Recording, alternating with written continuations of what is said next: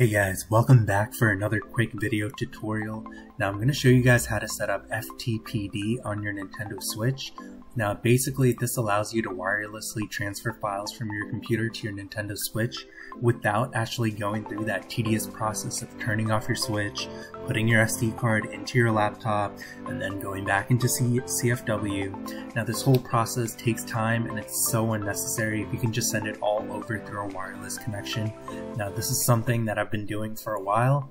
Now if you set up your CFW properly through the Nintendo Homebrew Guide, you should already have FTPD installed on your system. However, if you do not, go to this page which I will link in the description. Make sure you have the latest release and you go down and you go ahead and click on ftpd.nro. This is the file that you want to download onto your PC.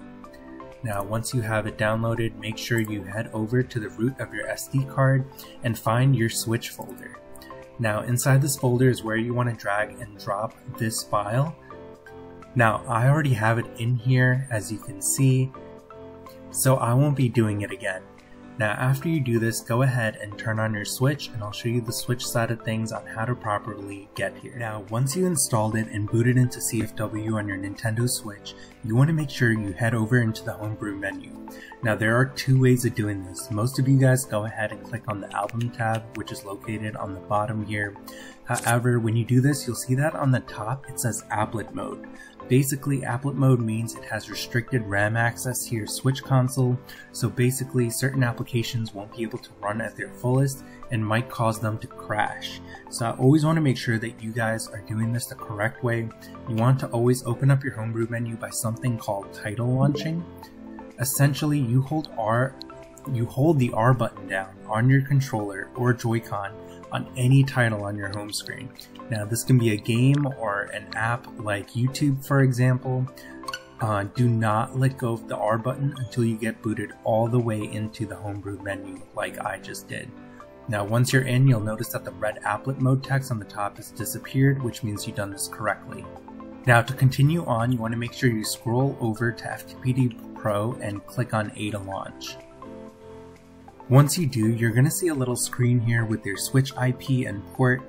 This is important because this is what you're going to input into your PC to connect your switch. It's extremely important that your switch and your PC are connected to the same network in order for this to work correctly.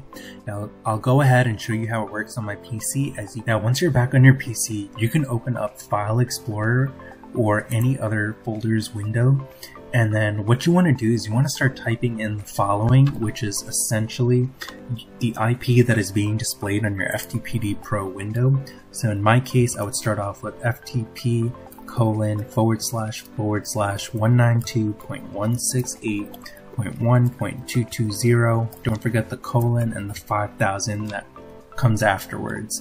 And then all you want to do is go ahead and click on enter now, if you've done this correctly, you'll see a bunch of things happening on your Switch, basically showing in real time that you are connected and what type of changes that you're making to your Switch.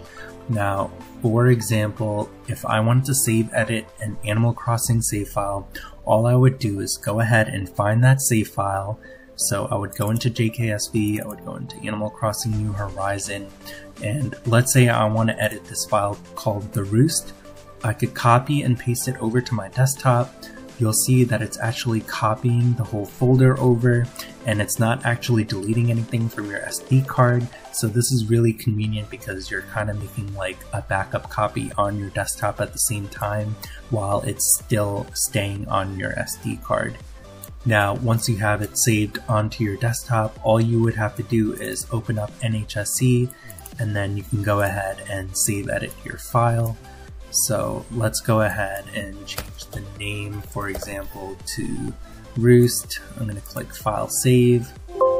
Saved all save data. I can X out of it. And let's say I want to put this folder back in here to replace the other one. Now you could just delete this one or you can make a backup somewhere. Um, I personally feel comfortable with my um, my file transfer skills. So I'm just going to go ahead and delete this file.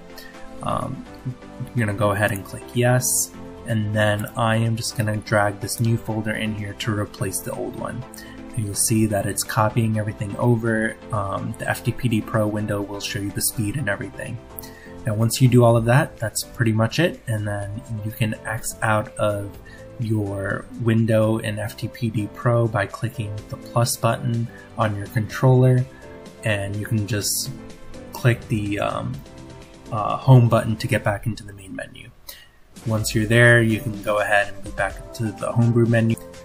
And once after you restore your save file, you can go ahead and launch the game. Now this is so much easier than uh, taking out your SD card and putting it into your laptop. So I highly do recommend this process. Now, if you have problems connecting to your Switch, just make sure you don't have any firewall settings on your PC that may be blocking your connection. I did have an issue with my Bitdefender where I did have to disable the firewall in order for it to work on my PC.